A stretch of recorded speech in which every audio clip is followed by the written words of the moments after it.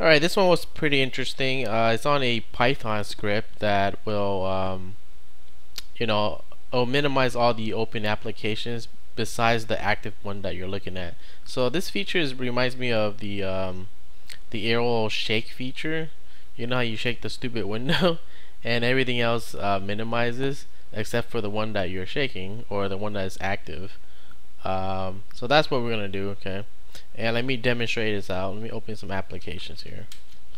So let's open let's say VLC let's open the totem. Let's open the terminal.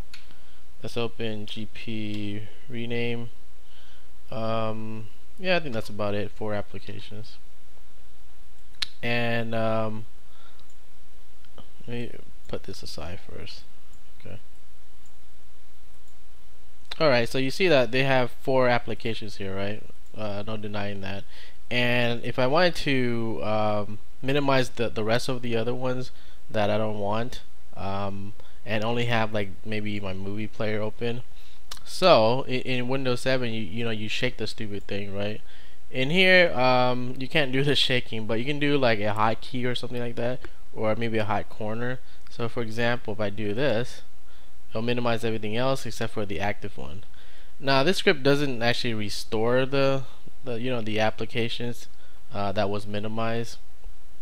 But uh, hopefully someone that, that's good at Python scripts can actually do that. But you can see that you can use the hot corners like I did before or you can use the hotkey so let me an example here. Right? And it'll do that.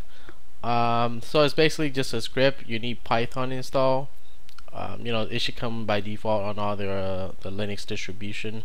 If not just go ahead and install it in your uh, repositories. So anyways let me show you um, what you need to do.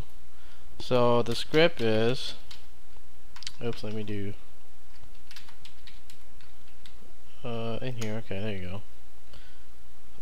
Uh, basically you want to you know just copy paste it in here into your uh, your text editor and save it as uh, the arrowshake.py or whatever you want to call it.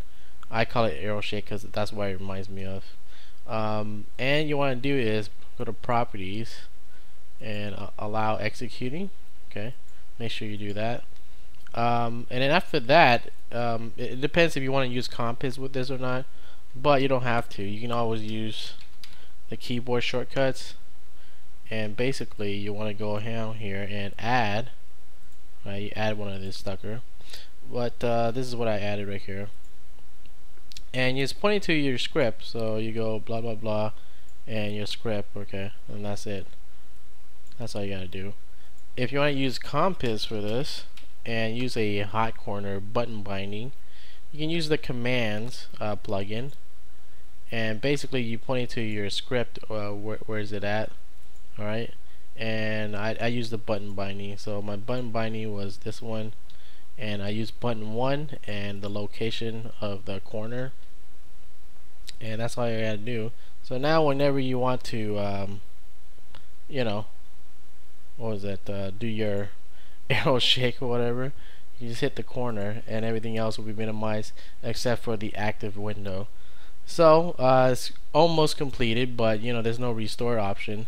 If someone actually is good at Python and you want to complete it with the restore option of, of the other minimize windows uh, go ahead and modify it and uh, let me know alright? That's it for this one